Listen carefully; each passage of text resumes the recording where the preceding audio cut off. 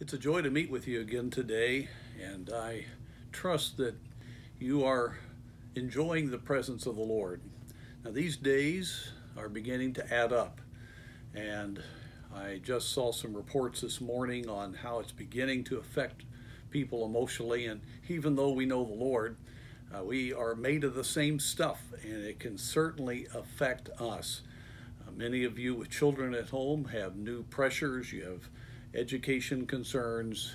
Uh, those of you that are by yourself are really isolated. Uh, there are just so many different scenarios that I know are represented by those that are watching uh, this time together. And I do want to be an encouragement to you from the Word of God. And so, my thought today is that God has promised to give us peace. But that peace comes as we determine we're not going to live with anxiety.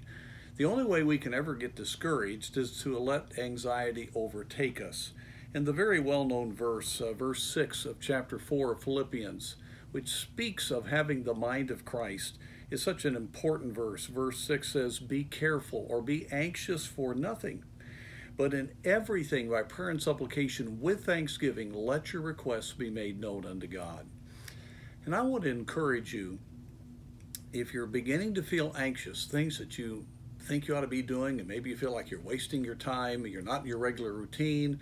Uh, there are uh, tasks that seem to be unfulfilled, or things maybe you think that you could do because you have a different schedule, and yet those aren't being done, and you are finishing a day uh, just with a lack of satisfaction, and and you're troubled in your spirit. Well, this verse really does apply to us right now. Be anxious for nothing. And what's the solution? Bring everything to the Lord in prayer. And this is not just praying about it, but praying for wisdom so that God can direct your steps. I highly encourage you to start your day with a strong time of prayer and then to ask God in that prayer time for wisdom for that day. Don't make your task list, don't set up your schedule until you have really quieted your soul before the Lord and had a significant time with Him and be in the Word, and then go ahead and schedule out your day. And you'll be amazed that the wisdom that God has promised will be yours.